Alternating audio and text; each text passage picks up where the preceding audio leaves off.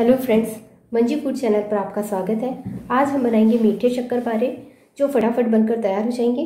तो चलिए शुरू करते हैं आज की रेसिपी जिसके लिए सबसे पहले एक छोटा बाउल लेंगे। इस बाउल में मैंने हाफ़ कप पीसी शक्कर ली है। इसे डाल देंगे। अब इसमें हाफ़ कप गर्म पानी डालेंगे, ताकि हमारी शक्कर अच्छे से घुल जाए। घोल देंगे।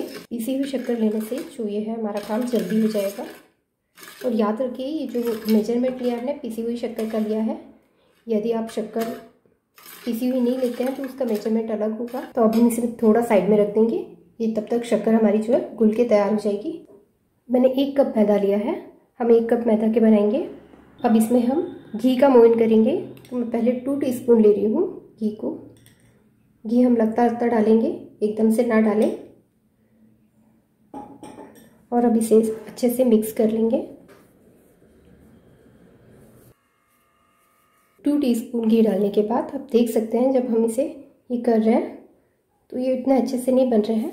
इसमें टू टीस्पून और डालेंगे ताकि हमारे जो शक्कर पारे हैं बहुत ही कुरकुरे बने। तो एक कप मैदा में हमने अभी चार टीस्पून घी डाला है। चाहे तो आप इसमें ऑयल भी डाल सकते हैं, लेकिन घी से ज़्यादा अच्छे कुरकुरा बनाता है। आप देख सकते हैं, हमारे जो तरीके से हो रहा है। तो मतलब हमारा मोइन जो है, वो अच्छे से हो गया है। इससे ज़्यादा घी ना डालें। अब इसमें वन पिंच सॉल्ट डालेंगे। वन पिंच जायफल पाउडर वन पिंच इलायची पाउडर और अब इसे अच्छे से मिक्स कर लेंगे। और अब जो हमने शक्कर का पानी कूल के बन रखा था, उसे डालेंगे। अब इसी पानी से हम इसे भिगो लेंगे। थोड़ा थोड़ा करके डालें, एकदम ना डालें इसमें।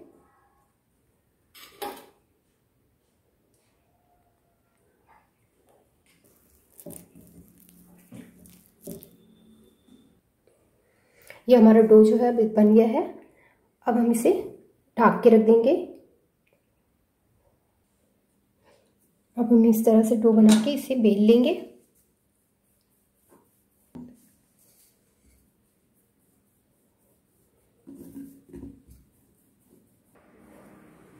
हमारी चपाती बनके तैयार है। अब हम इसे साइड से इस तरह से कॉर्नर काट लेंगे ताकि हमारे जो शक्कर पारे हैं उसका साइज़ अच्छा है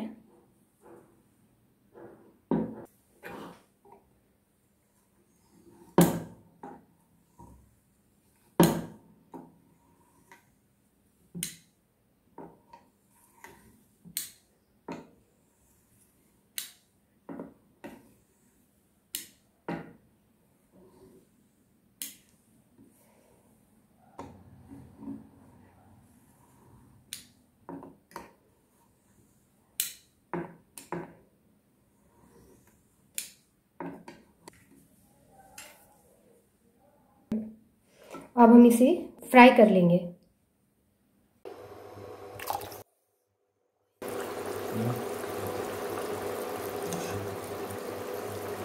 इसे हमें मीडियम फ्लेम में होने देना है ताकि ये अंदर से कच्चे ना रहे।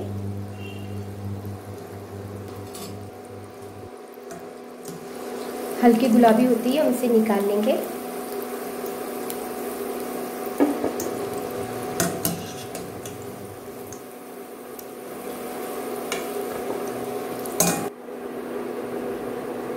मीठे शक्कर पारे बनकर तैयार हैं। ये बहुत ही क्रंची और टेस्टी बने हैं और ये बहुत ही आसानी से फटाफट बनकर तैयार हो गए हैं। आप इन्हें दो से तीन महीने एयर टाइट कंटेनर में स्टोर करके रख सकते हैं।